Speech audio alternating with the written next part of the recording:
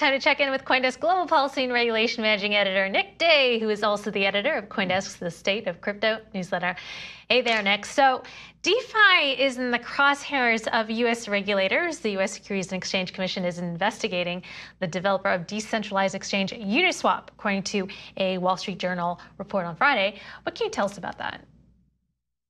Hey, welcome back. And yeah, the SEC has been signaling for quite a while now that it is taking a closer look at DeFi. And it finally seems that, you know, there's confirmation it is conducting an investigation. What we don't know is what exactly the SEC is asking and whether or not this investigation will for sure lead to some kind of enforcement action. It could very well be that it's just an information gathering project but at the very least, we do know that the SEC has been asking questions about DeFi and has, you know, raised concerns, uh, particularly through Chairman Gary Gensler, about issues like investor protection or whether or not tokens are being listed that could qualify as securities. So those are two of the likely areas that the SEC might be uh, taking a closer look at as part of this investigation. And of all the DeFi platforms out there, Nick, why Uniswap?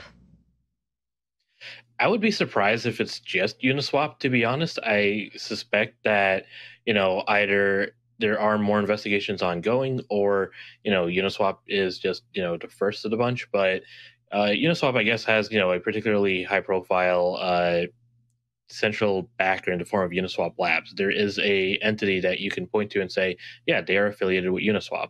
So other DeFi platforms that have a similar kind of counterpart uh, might also be, you know, investigated or face inquiries soon. And again, that doesn't necessarily mean there's going to be any charges brought. Just that I think that's how it's going to play out.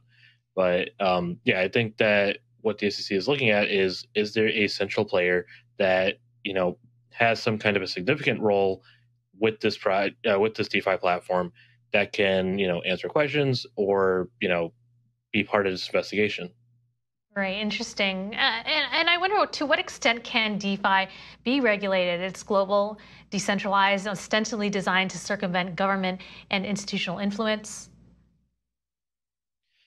Well, that kind of goes back to, you know, we've been talking about this infrastructure bill for quite a while, and the big concern there is that the IRS could impose tax reporting obligations on, you know, even uh, small players and individuals that are participating in peer-to-peer types of markets. And something very similar could happen here with DeFi. You know, you have uh, if the SEC says, all right, any kind of transaction, uh, you know, of these types of cryptocurrencies uh, must be reported or registered with the SEC ahead of time, then they could try and impose these types of reporting obligations to uh, DeFi platforms, or at least the participants on these DeFi platforms.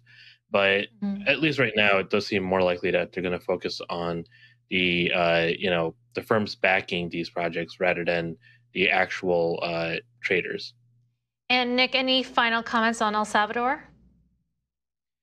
Uh, I think it's going to be the litmus test. You know, we're going to see how it's rolling out and whether or not it is in fact mandatory to be using Bitcoin or if it's just something that people have the option to use.